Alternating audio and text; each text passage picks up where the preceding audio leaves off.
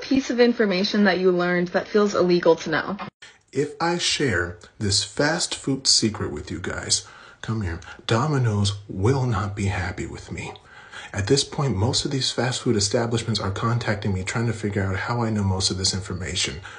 They clearly don't know the power of the Fast Food Secrets Club. However, we are now having new members because people just keep messaging me about more fast food secrets. But this one specifically is too good for me not to tell you guys, right? Somebody told me about it this morning. I tried it and it works. Okay, if you go to Domino's, come here.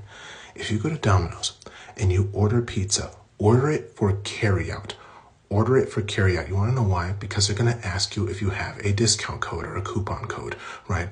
Use the code 5162. It gives you more than 40% off your order. Tell your friends, have a pizza party, do it quickly before it stops working.